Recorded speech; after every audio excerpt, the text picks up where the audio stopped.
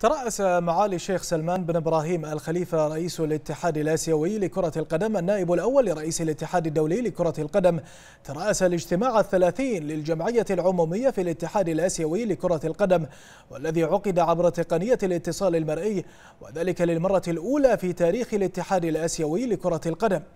وشهد الاجتماع نجاحا لافتا بحضور سيد جياني إنفانتينو رئيس الاتحاد الدولي لكرة القدم وأعضاء المكتب التنفيذي للاتحاد الآسيوي لكرة القدم ورؤساء وممثلي الاتحادات الوطنية التي يبلغ عددها 47 اتحادا.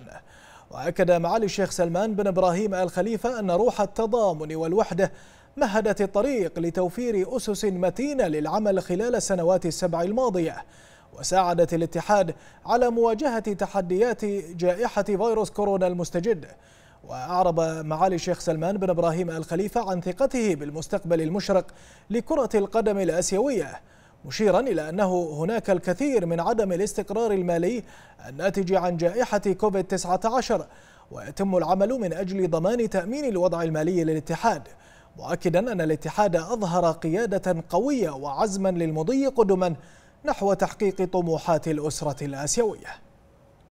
سعدت بلقاء طبعا أخواننا وزملائي طبعا في الاتحاد الآسيوي خاصة للمرة الأولى يعني في تاريخ كرة القدم الآسيوية نقيم هذا الاجتماع آه، بالطريقة المرئية.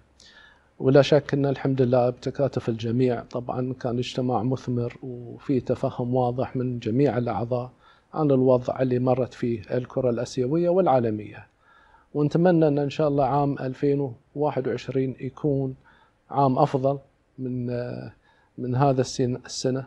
ونتمنى الجميع إن شاء الله التوفيق. وما يسعنا إلا نشكر جميع الاتحادات على مساهمتهم ودعمهم طبعا لكل أنشطة الاتحاد الآسيوي وتفهمهم أيضا بالنسبة للأوضاع اللي مرينا فيها. نتمنى إن شاء الله بتكاتف الجميع مثل ما قلت أن تكون سنة 21 أفضل.